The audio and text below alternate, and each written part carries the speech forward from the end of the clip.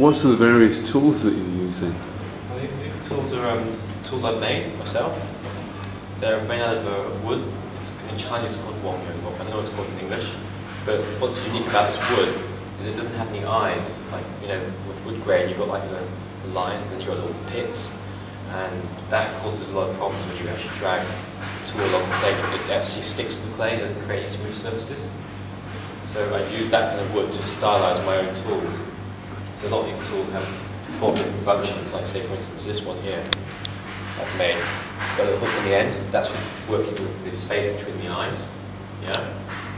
And then this tip here is um, used to create the, um, ang- the, the eyelids, the actual edge, that casts the shadow to create that dark line. And then this one here, this tool here is like a little sort of, of foot, you know? It's actually got a flat tip with a curved end.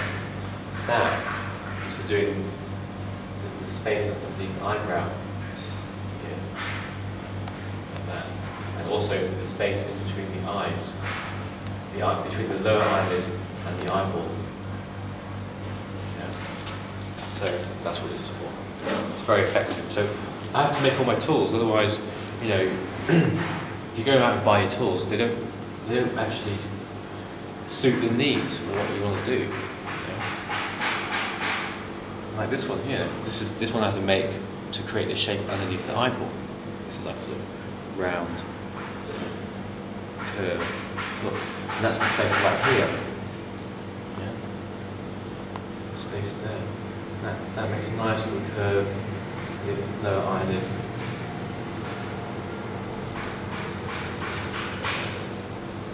Also for the nose. Creates the curve. So yeah, that's basically what it's all about. And this one, this one here, it's like sort of it's a, it's like a flat spatula type sort of tool. That's just that's just basically shaping up some of the smooth surfaces on the face, like the forehead, around the cheek. It helps to off some of the excess clay as well. That's what it's.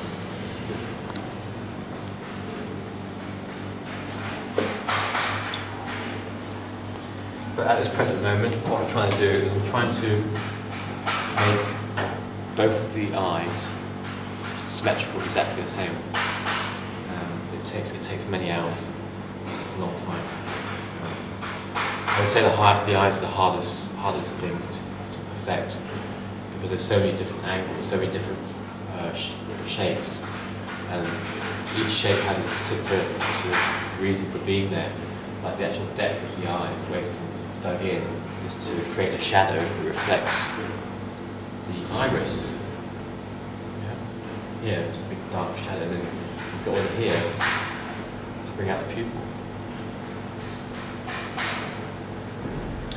Then you have this this this surface here, it's angled. So when the light hits it, it shines, and then casts a shadow on this surface underneath, the second surface. Likewise with the eyebrow. This eyebrow here sticks out, and you've got a surface underneath here that's sort of gouged in. That, that, that creates a shadow. Most statues, instead of actually um, making these sort of surfaces like this relief to reflect a particular feature like the eyebrow, they paint it. They paint you know, the eyebrow on, it looks nasty.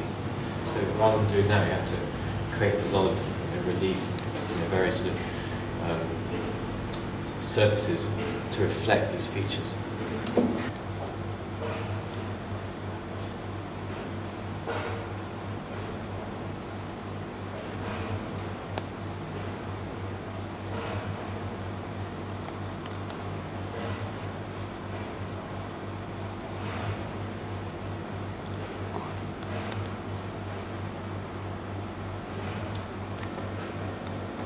You're working here on six statues at the moment. Yeah. What's the uh, significance of the six of them?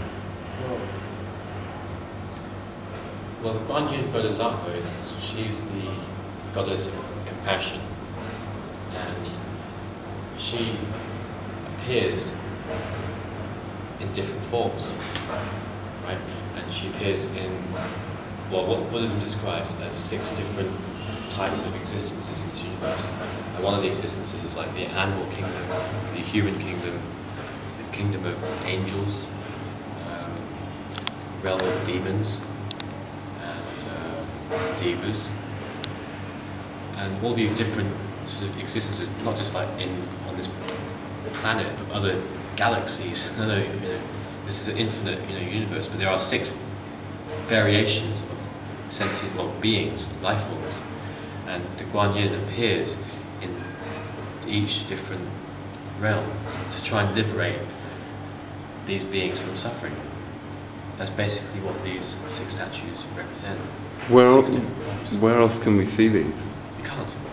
This, this, what you're seeing, what, what this, what's happening here has never ever been achieved before in the, the history of Buddhism. That is a fact. No one knows why it hasn't been achieved, and we, we do know that it has been attempted but has failed several times.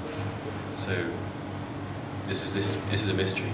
So this is why we're doing it here, and we're making these six statues of Guan Yin, and we're going to have them cast and placed inside the Chi Lin Temple in Diamond Hill. And so far we've, we've done pretty well. I've managed to design these six statues after the, a lot of research, and I've created the three-dimensional miniature models that you see over there, the ones in yellow. And he's managed to enlarge them to, to their present size.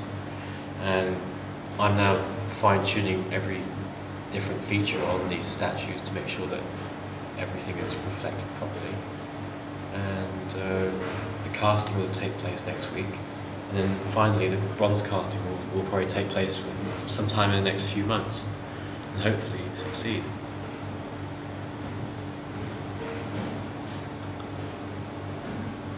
That will definitely be an event in, uh, in the temple. Absolutely. I'd say so, yeah. Does it have any uh, any further significance? I, I don't know. I don't know. All I know is this hasn't been done before. And I've been asking myself, why hasn't this been done before? And I, I, I didn't realise at first, but there's so much involved. Not just in creating it, but all the things have to fit together, everything has to be in harmony, there has to be a balance. And the number of features that exist in these six forms are just, when you first look, you don't realise it, it's like there's, there's nothing there, but there is actually, it almost seems like it's an infinite sort of um, essence involved that you don't realise until you're actually doing it. Yeah. And the smaller, all the, the smaller you, the more in depth you get the more you deal with the subtle qualities of the statue, the more you realise.